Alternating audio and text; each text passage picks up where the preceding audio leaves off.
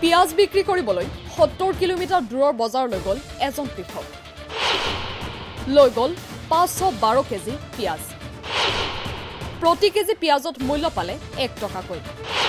পাঁচশ বাৰ কেজিত পাব লাগিছিল পাঁচশ বাৰ টকা। কিন্তু পালে মাত্ৰ দুটকাৰ এখন চেক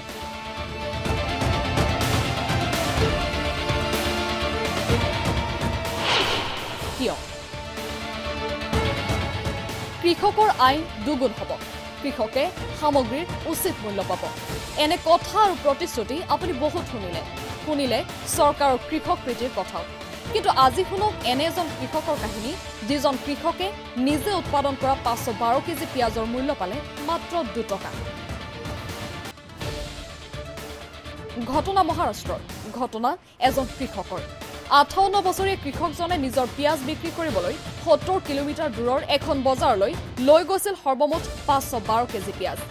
কৃষকজনে আশা কৰিছিল চৰকাৰী এ পি এম চিত কৃষকজনে লাভ কৰিব উচিত মূল্য।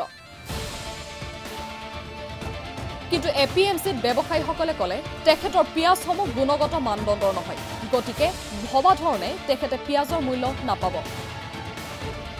বহু তৰ্ক বিতৰ্ক আৰু দৰ দামৰ পাছত কৃষকজনে প্ৰতি কেজি পিঁয়াজত লাভ কৰিলে মাত্ৰ এটকাকৈ। সেই অনুসৰি কৃষকজনে পাঁচশ বাৰ কেজি পিঁয়াজৰ বাবদ লাভ কৰিব লাগিছিল পাঁচশ বাৰ টকা। কিন্তু তাৰ পৰাও বঞ্চিত হ'ল কৃষকজন।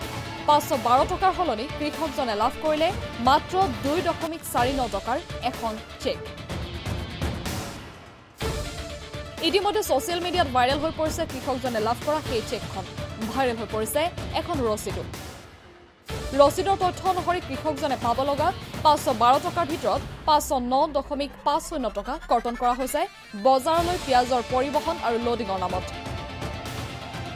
সেই অনুসৰি কৃষকজনে পাঁচশ বাৰ কেজি পিঁয়াজৰ বাবদ লাভ কৰিলে মাত্ৰ দুটকা আৰু কৃষকজনক ব্যৱসায়ীয়ে প্ৰদান কৰা সেইখনেই দুটকাৰ চেক কিন্তু এইখিনি পিঁয়াজৰ উৎপাদনৰ বাবদ কৃষকজনৰ কিমান ধন ব্যয় হৈছিল জানেনে? কৃষকজনৰ ভাষ্য ইতিমধ্যে সামাজিক মাধ্যমত চৰ্চাৰ বিষয় হৈ পৰিছে। কৃষকজনে কয় বিগত বৰ্ষত মই প্ৰতি কেজি পিঁয়াজ বিছ টকাকৈ বিক্ৰী কৰিছিলো। বিগত বছৰকেইটাত বীজ আৰু সাৰৰ মূল্য দুগুণ বৃদ্ধি হৈছে। এইবাৰ পাঁচশ কেজি পিঁয়াজ উৎপাদন কৰিবৰ বাবে মোৰ চল্লিছ হাজাৰ টকা খৰচ হৈছিল।